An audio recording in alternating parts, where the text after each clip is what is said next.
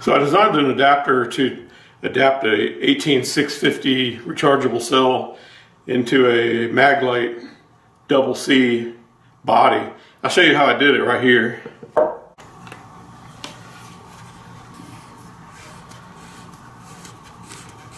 These were pretty good flashlights back in the day. So you can see uh, what comes out is not two C batteries. It's a um, 18650 rechargeable cell.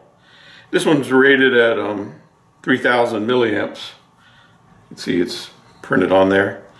And so this is just a 3D printed adapter. It's got a contact down in the center there. And I'm just using some 22 gauge wire to run through. Uh, and it just balled up. It's not very elegant, but it works fine. It just has to make connection with a spring somehow, some way, and you know, there's a lot there for it to, to grab onto. And the same in there, I used the O-ring and wrapped the wire around it to form a, um, the connection. I'll show you uh, how I did that. So just take a, this is a 22 gauge solid wire. And I just start with it like this and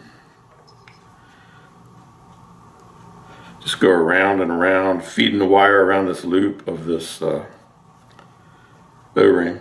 I was going to use a spring but then I realized I didn't really have one this size and I would have to redesign the uh, unit because initially I didn't design it to have a spring and I thought well what can I do instead?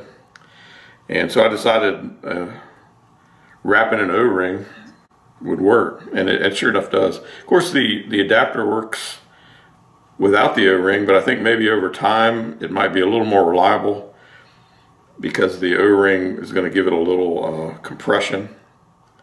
So that's just what I do. I just uh, would wrap the the wire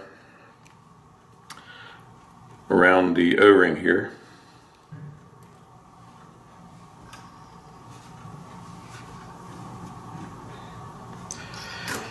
And so that's a, that's a look at the adapter. I'll go ahead and put it back together.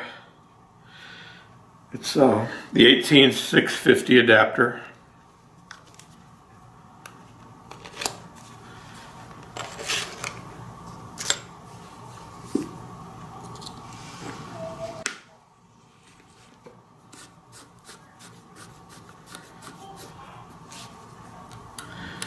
And working fine.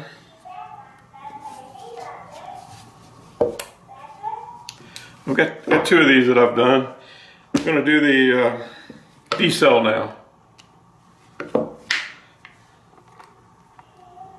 Hey, thanks for watching. Hope you enjoyed the video on adapting some old Maglites to some modern rechargeable batteries.